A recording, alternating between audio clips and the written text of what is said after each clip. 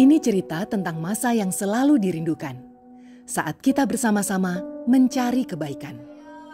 Setiap malam berangkat tarawih, lalu dengerin pengajian.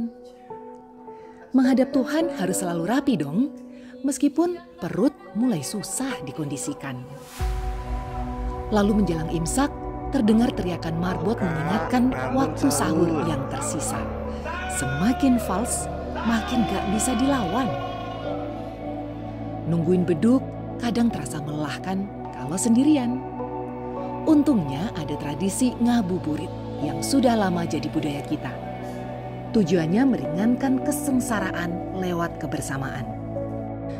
Saat buka puasa, es kelapa, teh hangat, kolak, lontong, dan gorengan mendadak menjadi begitu penting.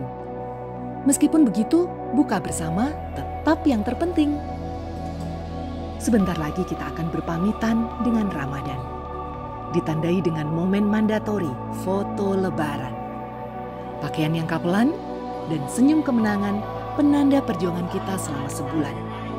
Lalu gaya jempol bapak-bapak yang gak ketinggalan di antara begitu banyak gaya punten yang berseliweran. Kemenangan bisa dirayakan dengan berbagai cara. Begitu juga dengan kebaikan.